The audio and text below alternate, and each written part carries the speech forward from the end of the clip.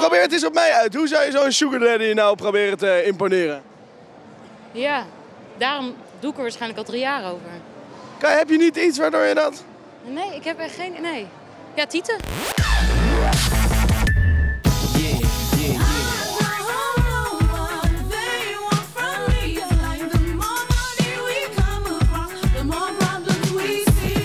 Ik kreeg net de prijslijst in handen en ik schrok me een hoedje. Mijn vriendin heeft me geadviseerd een paar jaar geleden, doe nou bitcoins. En nu zijn ze 10k waard, godverdikkie. 16 inmiddels. 16.000 dollar. Nou, dan weet je meer dan ik. ik zou, je hebt zeker geïnvesteerd. Volgend jaar het thema. Als ik een kleine hint mag geven, er zijn allemaal crypto-miljonairs die eraan komen. Ja, nou ja. In feite zijn dat gewoon crypto-nerds. Ik zou je wat zeggen. Het thema van volgend jaar, dat weet ik al.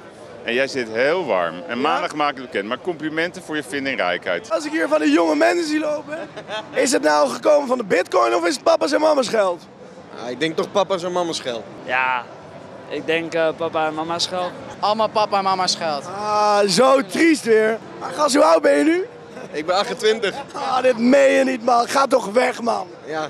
Dan poog je ook met een Rolex, terwijl je eigenlijk onder smoking helemaal geen horloge mag Dat dragen. weet ik, dat weet ik. Waarvoor ben jij eh, hierheen gekomen? Ehm, om sugar daddies te zoeken. Oké, relaxed, relaxed. Ja. En hoe lang eh, heb je hiervoor getraind? Eh, nu al drie jaar. Ja, sinds ik 18 ben. Een levenslange alimentatie lijkt jullie niet verkeerd? Nee, zeker niet.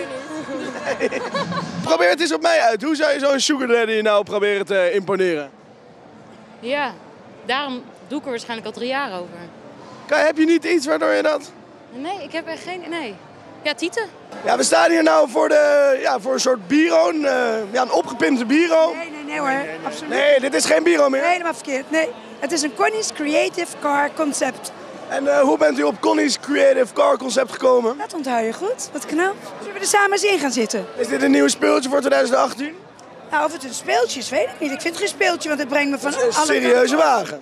Het is een serieuze auto, ja. Absoluut. Ik krijg wel warme billetjes hier. Lekker, hè? De verwarming. Het enige nadeel aan is dat je een beetje aan bij je krijgt. Wist je dat van stoelverwarming? Nee, geen idee. Geen idee.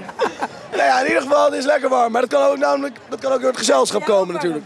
Dat bedoel ik. Ja. Dan wordt wel een kleine, kleine ruimte dit. Ja, hè? Dankjewel. Alsjeblieft. Krijg ik nog een kus? Ja. Goed zo. En ik heb één keer ben ik met Connie meegereden, dat was afschuwelijk.